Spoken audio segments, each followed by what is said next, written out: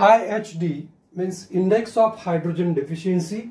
These IHD calculations are important when we find the structure from the from different spectral data.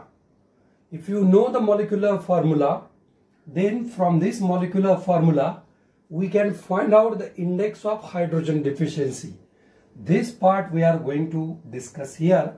And as I mentioned earlier, IHD calculations are important while deciding the structure of organic molecule from the, the given spectral data.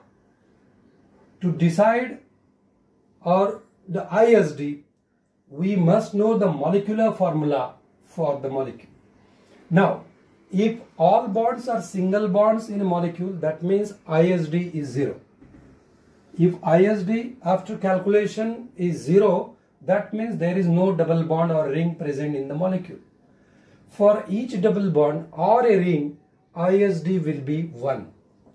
For example, if IHD is 1, there might be one pi bond or one ring present in the molecule. For IHD 2, there will be two pi bonds or one triple bond or one pi bond and one ring. Accordingly, you can find out different combination, different possibilities.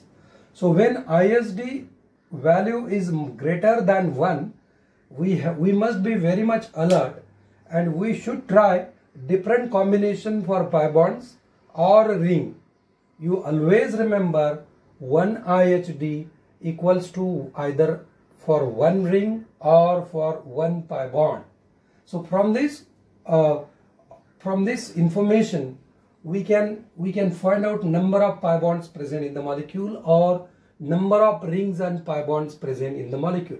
So this much information we gather from the index of hydrogen deficiency.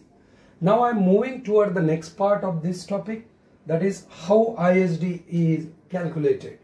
To calculate IHD, suppose the molecular formula is CXHY. I am omitting other heteroatoms present in the molecule. So the formula is 2x plus 2 minus y upon 2. By using this formula, you can easily find out IHD. But if heteroatoms are there, for oxygen and sulfur, you neglect that heteroatoms because they are not going to affect our IHD. But if halogens are there, means Cl, Br, F, halogens are there, for each halogen, you must consider as a hydrogen. Suppose there are two halogens, you add two hydrogen in the formula before IHD calculation. If there is one hydrogen, you add one hydrogen in molecular formula before the calculation of IHD. Again, if nitrogen heteroatom is present in the molecule, you replace nitrogen with one CH, means one carbon and one hydrogen is added in the molecular formula before IHD calculation. So this is all about how to calculate IHD from the given molecular formula. Now we'll discuss, uh, we'll take few examples to calculate IHD. First example where the molecular formula is C6H6 where X value is 6, Y value is 6. If you put that value in this formula, you get here IHD4. IHD, you can draw different conclusions.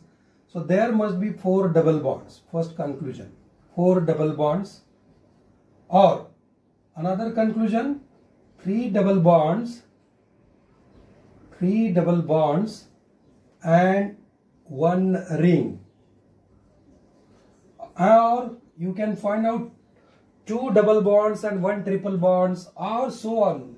You, you have to just draw different conclusion from the IHD now I'm moving toward the next example where nitrogen is present. If nitrogen is present as I mentioned you have to add CH remove that nitrogen. If I add CH, one carbon is added here, hydrogen is added here. So it is converted to C6H10 and by putting these values in, in formula, we get the value 2. 2 means 2 double bond or 1 double bond and 1 ring or 1 triple bond. These are the conclusion we can draw from this value 2 for this IHD. Now if the oxygen is there, you just neglect that oxygen and its new formula will be now C4H8. Put the value of X and Y in this formula. So by putting this value, we'll get IHD1 and one IHD means either having one double bond or having one ring. So these are the conclusion we can draw from the IHD and these are the uh, uh, examples from which we can learn how to calculate IHD. Thank you.